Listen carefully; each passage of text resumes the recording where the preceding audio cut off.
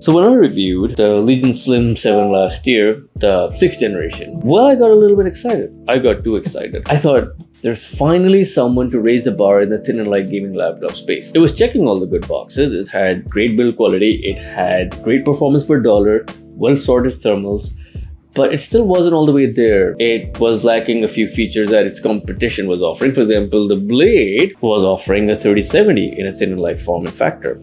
So when the folks at Legion said that they had bolted a 6800 Radeon to a thin and light gaming laptop, I had to find out. And so here it is. But before I scratch this itch, just a friendly reminder if you guys could subscribe to my channel, it'll be really great. That encouragement is going to help me create more content and also raise awareness of how cool personal computing is.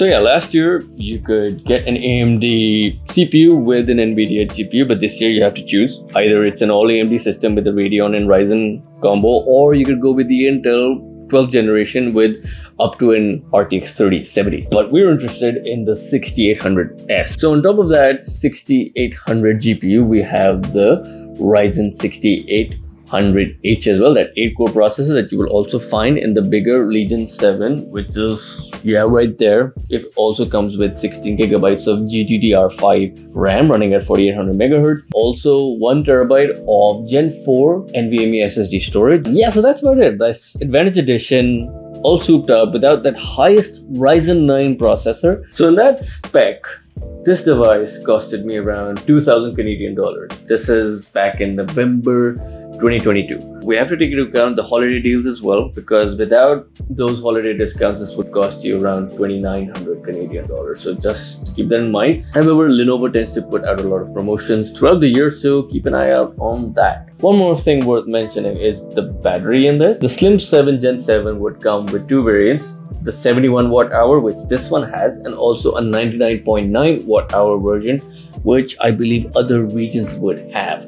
Now I know more sounds better but as a result of the smaller battery here you would also be saving around 200 grams of weight so silver lining. So let's talk about improvements over the previous generation and the improvements are obviously much more than just the CPU and GPU. What I'm really grateful for in this generation is that they slimmed it down. So the last generation was about 0.74 inches and this one is 0.67 inches, which is the same as this Razer Blade. Now this blade is the advanced version from 2021 and it is not a big achievement for Legion to finally now be at par with the blade. But there's something very critical that sets them apart and that is the Legion's insane thermal management system. Like it is unbelievable how well this thing manages heat. I mean, it is insane how much cooler the Legion is in comparison to the Blade. Like these wrist areas would always remain cool, like whether under load or not.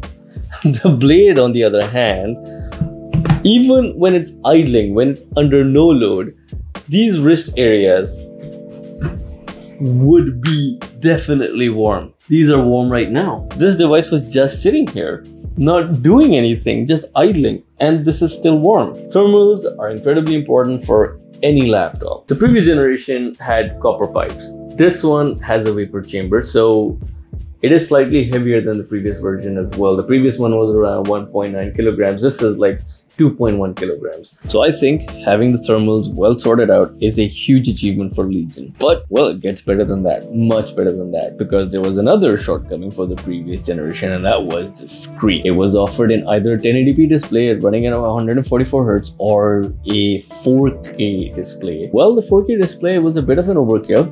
Uh, considering the size of the screen. So this time around, they've gotten rid of the 4K, as far as I understand, and they've introduced QHD Plus. While the QHD on its own stands for 2560 by 1440 pixels, the QHD Plus stands for 2560 by 1600 pixels. That what that means is bigger and more vertical real estate. So would help you with your productivity tasks. So if you're, for example, using Adobe Premiere, you would see your tracks at the bottom be more accessible. So it should also help you in games, at least for the games that support it. And it has a brightness of 500 nits. That is amazing. A really nice screen to have. In a thin light form factor. The screen is running at 165 hertz and the 165 hertz refresh rate is just a sweet spot. Any more, it's just more stress on the system and you won't even notice the additional refresh rate anyways. They upgraded the webcam on this as well from a 720p to a 1080p and also improved the sensor size a little bit so it's a wider angle and means that you've got good low light compensation and less grain in your video. Port selection is kind of the same as it was in the previous generation. It's got two type A ports on the back and two type C ports on the side although this time around those two type C ports are on the left side instead of the right. So, well, the headphone jack used to be on the left side in the last generation, now it's on the right side. I did wish that it would remain on the left because I'm right-handed and the wire of the headphone may interfere with my mouse, although it's not such a big deal. Important thing to note is that the versions of these USB interfaces have been upgraded to USB 3.2 Gen 2. So now you can get twice the bandwidth. So about 20 gigabytes of transfer speeds here, which is nice. On the Type-C ports, they both support charging via Type-C uh, up to 135 watts and also support DisplayPort 1.4 which should allow you to output video at 8K. You'll also find this little button right here which is a physical switch for the webcam itself. So just for peace of mind for those who think they're being watched over by a government entity or whatever. Good news is that Legion also comes with a mux switch, so your display output should not be restricted. It should work at its full capacity. I'm also glad that Legion was able to keep some of its good features from the last generation. For example, the biometric fingerprint logon coupled with the power button so that's nice it still has that really great TrueStrike keyboard with the slightly u-shaped keys the quick brown fox jumps over the fence. Hmm. And I didn't make any mistakes either. This is a very comfortable keyboard. It's got a nice tactile feel to it, satisfying good keyboard. They also kept the shortcut keys as was the case for the previous generation also for the Legion 7, the bigger Legion 7 as well. So it will allow you to change the performance mode like silent, balanced or like the high performance mode which unlocks everything or you can change the resolution on the go, you can turn on and off the port lights on the back, you can change the RGB preset or like the customized profile that you have on this through that. I mean, there's no RGB outside of this keyboard. It's just in this keyboard and it's highly customizable with Legion's own Vantage software.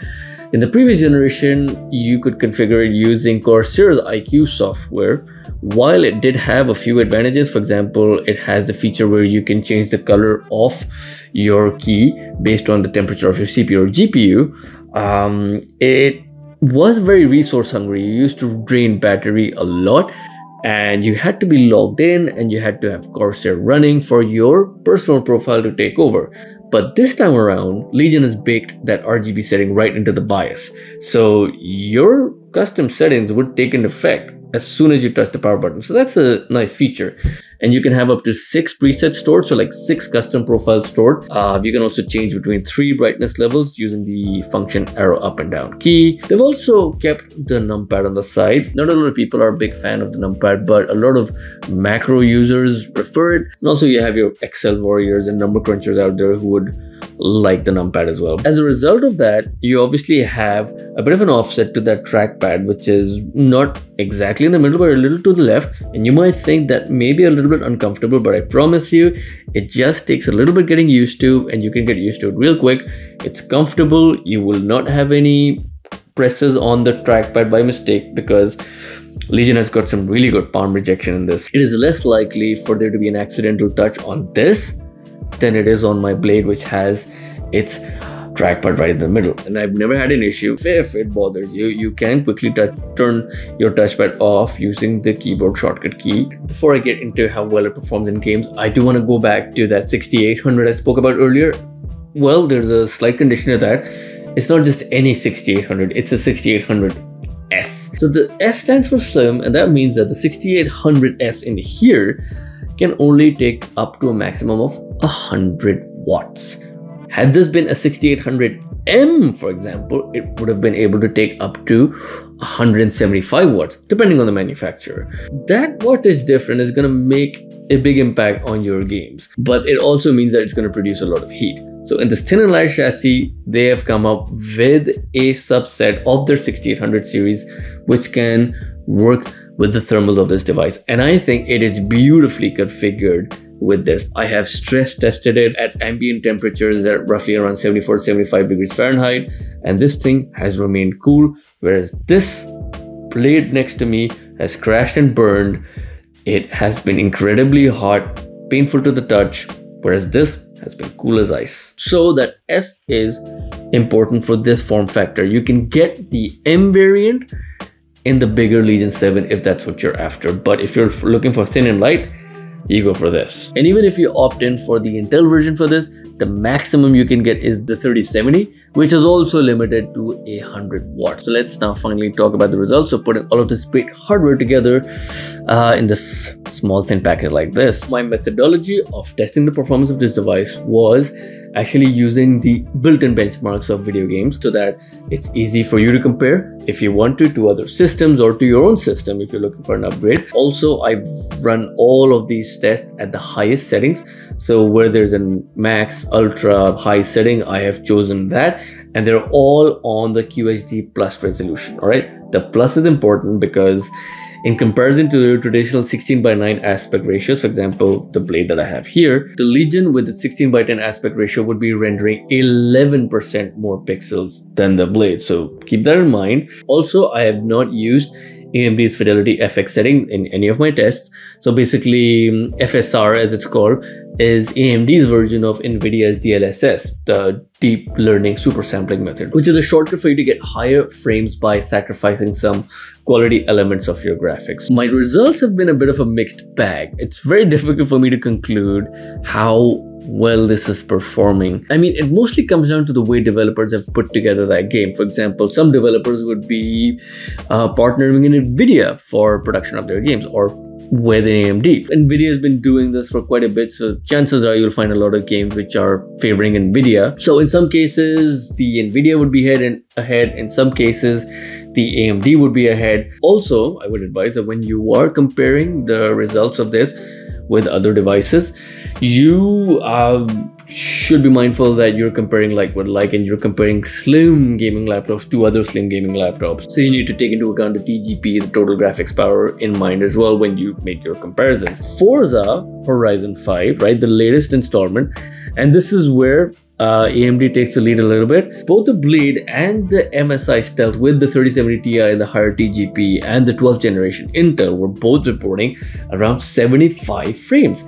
And the Slim 7, this one right here, was giving me around 84 frames a second. So that's pretty interesting that you got a higher result from a slim thin light gaming laptop on top of the Stealth, which is actually a thicker laptop with a higher TGP. So a very interesting result and just to show how much um, the game development process is going to affect the end result. Uh, yes, quite right. I've had a change of clothes because I thought I should take a moment to actually think and absorb my thoughts about this device and conclude with a good night's sleep. I really did sit down and think about the features that this device has in comparison to other devices and other offerings like all across portable gaming laptops and just laptops in general. And uh, this may be an unpopular opinion for you guys, but I do genuinely think, for me personally, this is my favorite laptop of 2022. It's a device that picks up a little bit of everything you're looking for in a gaming laptop and puts it together. It's one that offers the least amount of compromise. On one end, you have got those uber slim devices like the XPS uh, or the MacBook Air. Like those are more productivity, like day-to-day -day laptops. They you'll compromise on performance on those.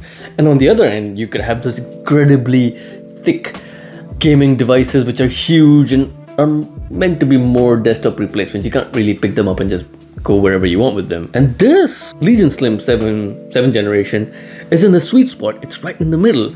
It takes the best of both worlds and, and puts it in a really neat easy to use, reliable package. Uh, and yeah, I get it. It's the law of the universe. Nothing is perfect. Everything has shortcomings. And this is no different. I do wish that it had the 99.9 watt hour battery instead of 71 watt here. You can get the 99 one if you want, but even with this you're saving a little bit of weight and with the 71 watt hour battery you'll still get like good five to six hours of high productivity time. You would have your screen at a decent enough brightness, like 300 nits or above. You'd still have your keyboard lights on.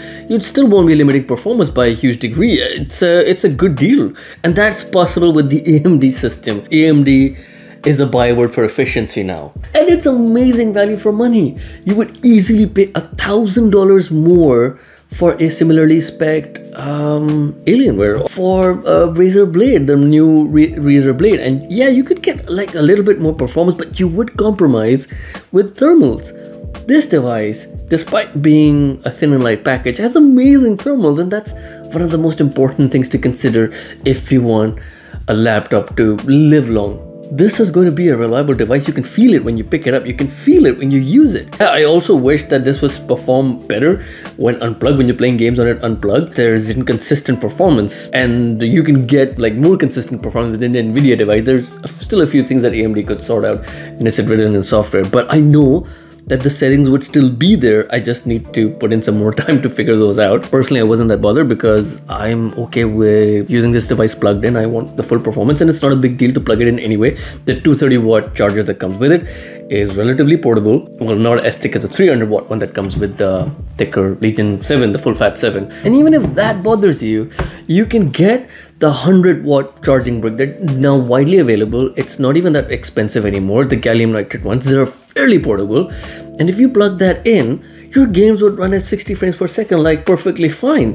And that's an amazing achievement. This is the device that you invest in. It's going to give you the least amount of compromise, the least amount of heartache. Usually when it comes to gaming laptops, there is a cost that you're paying. Either it's a huge monetary cost or it's something else. With this one, you know you're getting reliable performance in a thin and light package, good customer service, and it still gives you a lot of good upgradability options. This is no thicker than a MacBook Pro 16, yet it can rival the performance of a PlayStation. So yeah, this is definitely my favorite laptop of 2022 with that um, guys thank you so much for watching my video i hope you found some of the content to be useful to you so Thank you all very much for watching my video. If you found it to be useful or if I help you make your decision around your next purchase, please do like and subscribe. See you next time.